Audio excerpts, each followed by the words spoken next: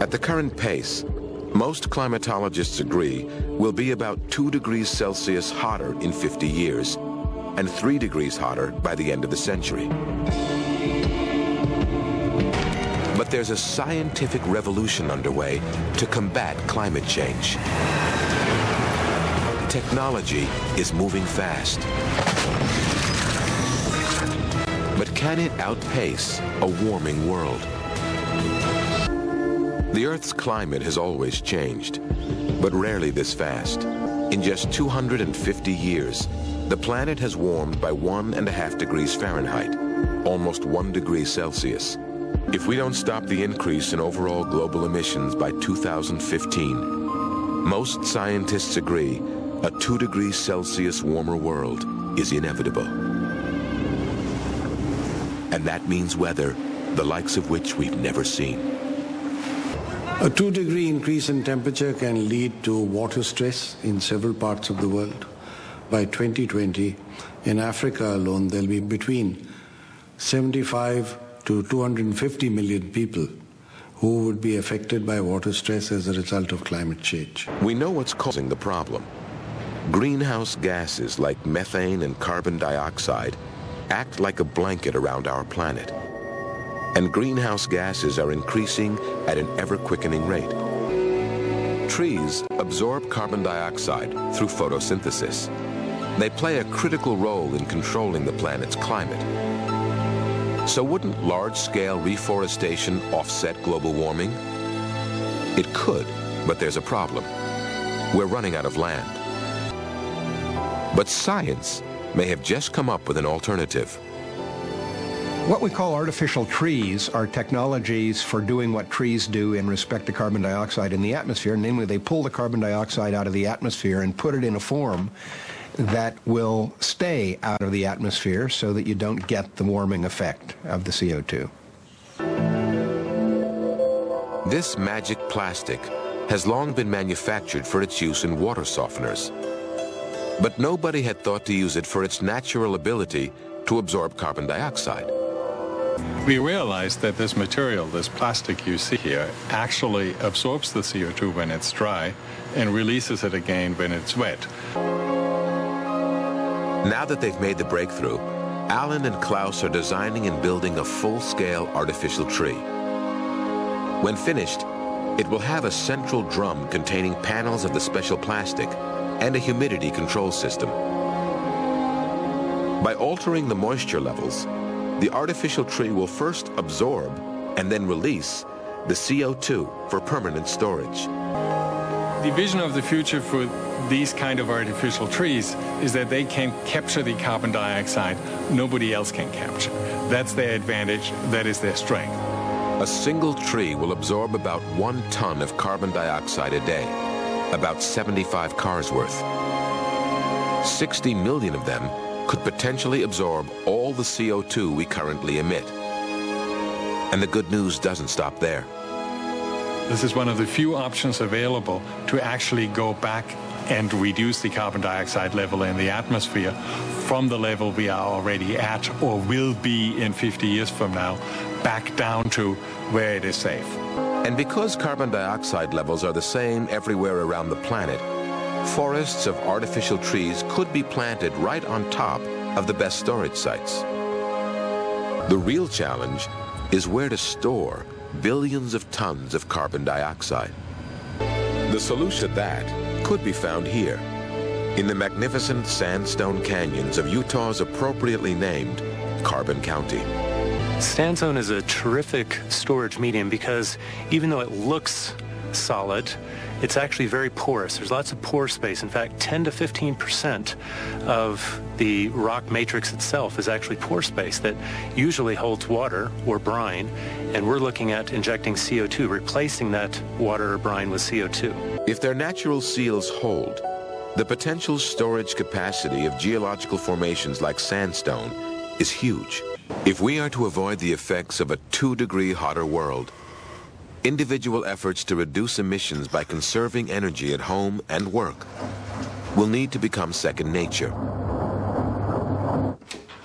The most important single thing that human society can do to reduce its impacts on the global climate is increasing the efficiency with which we use energy. But if measures like these are not adopted, a three degree hotter Earth could undergo a series of irreversible changes. The nightmare scenario for scientists. Three degrees Celsius hotter. That's nearly five and a half degrees Fahrenheit. Some scientists say this may be the tipping point when changes in the world's climate could cascade out of control. Three degrees Celsius global warming would mean we're talking about a different planet. It's a planet that hasn't existed for millions of years. Um, there were no humans on the planet when it was three degrees warmer. Not only sea level would be different, but climate zones would be shifted. Um, it would be a very different planet. And with a three degree Celsius rise, the Amazon rainforest isn't the only ecosystem that would be lost. So would what's called the permafrost zone, which stretches from Alaska through Siberia and northern Europe. Permafrost is soil that has been frozen since the Ice Age.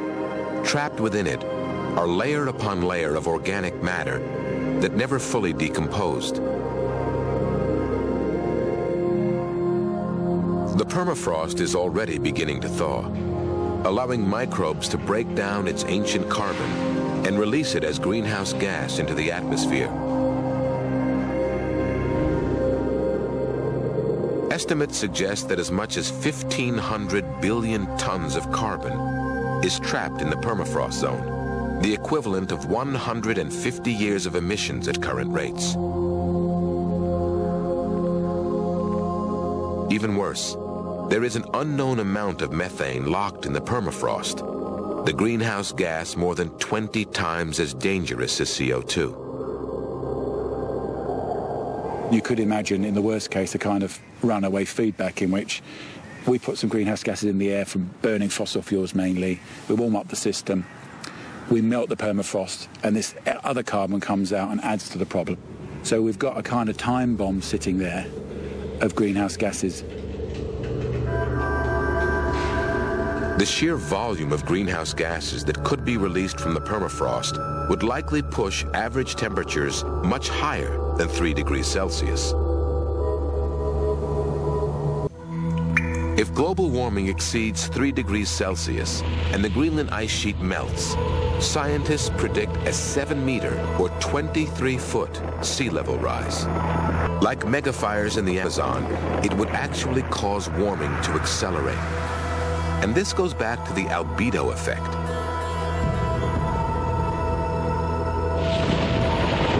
If the reflective white surface of the ice disappears, all that solar heat is absorbed, and the Earth's climate gets even hotter. Data comes from projects like this one. Antarctic ice built up in layers over millions of years. British climate experts read the past by drilling out and examining ice samples, or cores. This ice core is 750,000 years long.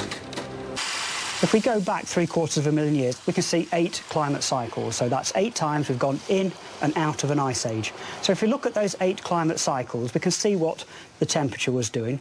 But critically also, we can get at the carbon dioxide, the methane, these two greenhouse gases. We can see what levels they were in the ice. And what we find is they're actually remarkably consistent with temperature. They track temperature extremely well. The science related to climate change has reached a level of sophistication and reliability which leaves absolutely no scope for doubt that human beings are impacting on the climate of this earth.